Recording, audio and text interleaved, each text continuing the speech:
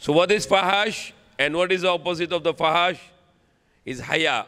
Either you are a shameful person or either you are a shameless person. A, a believer, he cannot be sh- shameless. Prophet Muhammad sallallahu alaihi wasallam said, if you don't have haya, then you can do what you like. If you don't have the shame, it is how much far you to be a Muslim. You are not even a human being. You are just a filthy animal.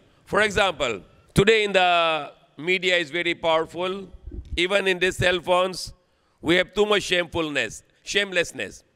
Lots of fahash or the shamelessness in our cell phones today. You need to always to be watchful.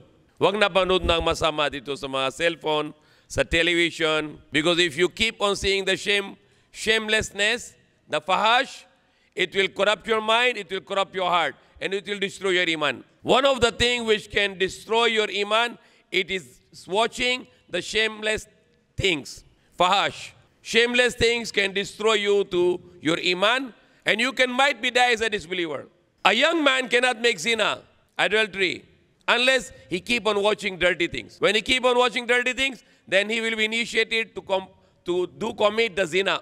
For as a believer, when he see the shameless thing, he will turn away his eyes. He will not look at it.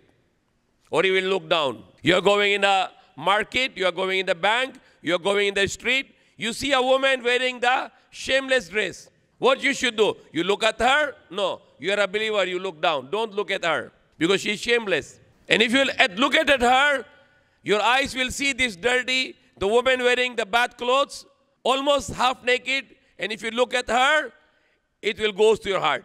It will damage your heart. You're watching the movie and you see the dirty things there, fahash, shameless things, and you keep on watching, it will destroy your heart. Your salah will be useless. You will not be happy to pray. You're praying, fasting, no use because your heart is corrupted. But when your heart is clean, you're not watching the dirty, you're not watching the pornography, you're not watching the fahash, your heart will be always clean. And that heart can remember Allah.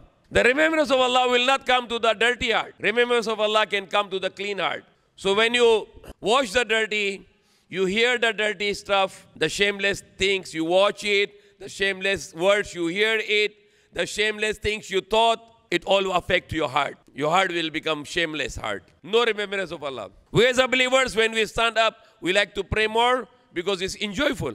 We love it because we are in front of our God who gave us life. So we are standing down, bow down, making sujood. We feel happy. We feel sukoon in our heart. But the person who is dirty, who is filthy, he will not be happy to pray. He like to finish pray quickly and then run away because heart is already corrupted. There is a one surah of the Quran, Surah Al-Shams. What is it? Kadaflaha man zakkaha. Surely the successful is the person who clean himself. Allah swear for 16 to 17 times. Then Allah is saying, surely the person is successful who clean himself. How you can be clean? You are watching pornography. How you can be clean now? Before there is a CD and DVD, and the Muslims are watching the board, selling. Muslims are selling the board CD, the pornography, X-rated, for 10 pesos. They sell their iman for 10 pesos. Their iman is not worthy of 10 pesos. Allah doesn't need this kind of iman. But now no CD, DVD. Now is the internet. Everything with internet now. They don't like to pray anymore. Even they pray, their prayer is an exercise only because their heart is corrupted. What Allah said, Kadaflaha man zakkaha. Surely is a successful is the one who clean himself. Clean the heart, clean the mind, clean your eyes, clean your hands. No dirty, any kind of dirt. And what Allah said the next, Kadaflaha man zakkaha wa qad khaba man dassaha. And surely the destroyer is the one who corrupt himself, who dirty himself.